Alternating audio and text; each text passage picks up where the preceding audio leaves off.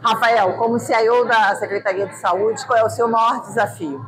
Meu maior desafio como CIO da Secretaria de Estado de Saúde é justamente mostrar como que a tecnologia pode estar associada às áreas finalísticas, porque envolve uma questão de cultura organizacional que já está sólida há muito tempo.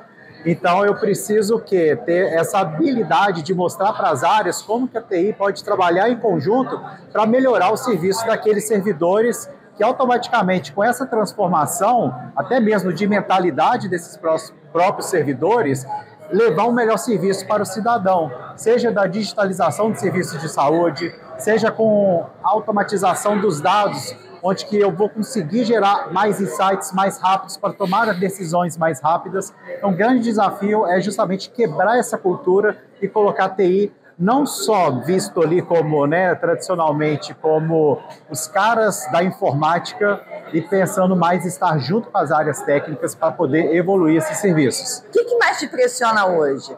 A possibilidade de um ataque hacker e os dados vazarem ou a pressão por usar a inteligência artificial generativa? Na saúde, a segurança é primordial, porque além de trabalhar é, com pessoas, né, são dados pessoais, também são dados sensíveis que a saúde trabalha.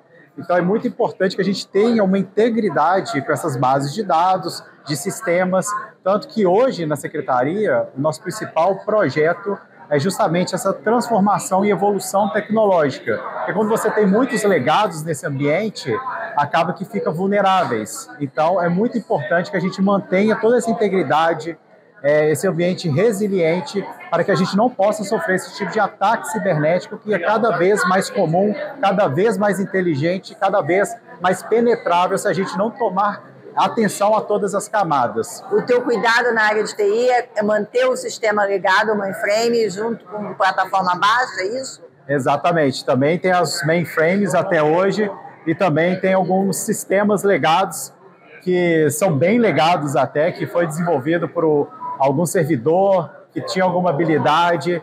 Então, é justamente né, fazer esse trabalho e ver o que, que a gente consegue transformar para uma tecnologia mais recente, para que a gente possa mitigar essas questões de segurança. E a então, pressão pela IA generativa? É bastante. Depois que deram na mão do usuário o poder da IA, a pressão é muito grande. Então, quando eu converso com os diretores, né, os gestores da educação, perdão, da saúde como um todo, eles sabem exatamente o que eles querem utilizando inteligência artificial. Mas primeiro, como CIO, eu tenho que mostrar o que precisamos fazer. Então, hoje na Secretaria de Saúde tem um trabalho de base muito grande que precisa ser feito. primeiro deles, governança de dados. É, pegando o Gartner, que é uma das principais advisors do mundo, fala que 70% dos projetos de inteligência artificial não serão bem-sucedidos por não ter uma governança de dados muito bem definida. Então, nós estamos trabalhando na governança de dados, estamos trabalhando também na alfabetização dos servidores, porque quem vai lidar com os dados são esses servidores das áreas técnicas. Portanto, a gente está fazendo um trabalho, vai iniciar agora, a partir do dia 15 do 7, a jornada que vai durar cinco meses, que serão os primeiros é, servidores com essa transformação com a parte da alfabetização Eles de dados. Eles vão ser treinados, você contratou uma equipe para treinar esses servidores em dados? Na verdade, ainda não contratamos ninguém, nós vamos fazer com as nossas próprias é, base técnica, onde que nós vamos convidar é, pessoas externas, né, fora da acesso, para realizar o workshop, para a gente elevar o nível de consciência desses servidores e os próprios servidores do núcleo de governança de dados vai realizar esse treinamento e essa alfabetização desse grupo selecionado. Para o próximo ano, 2025, pensamos sim em fazer uma parceria com o FMG, com esse núcleo que eles têm lá de inteligência de dados, para fomentar essa literacia em dados. Tem dinheiro para investir em TI na saúde? Tem dinheiro, tem bastante dinheiro, é uma parte positiva. Então, é, para o planejamento que nós temos que entregar nessa sexta-feira, a gente está realmente fazendo um trabalho bem cuidadoso e investir realmente no que faz sentido.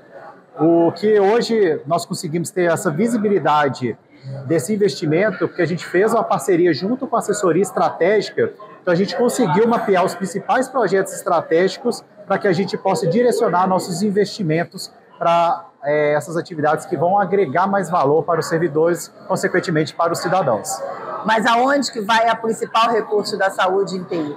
Vai na parte de dados. Nós temos um grande projeto, uma grande iniciativa, que é a Rede Mineira de Dados de Saúde, que é a RDS Minas Gerais.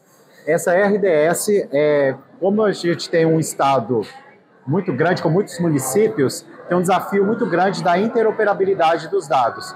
Com esse projeto, visando que a segurança dos dados é primordial para a saúde, por essa particularidade de dados pessoais e serem sensíveis, nós vamos utilizar tecnologias bem robustas como blockchain para a gente garantir que essa segurança ela seja de ponta a ponta.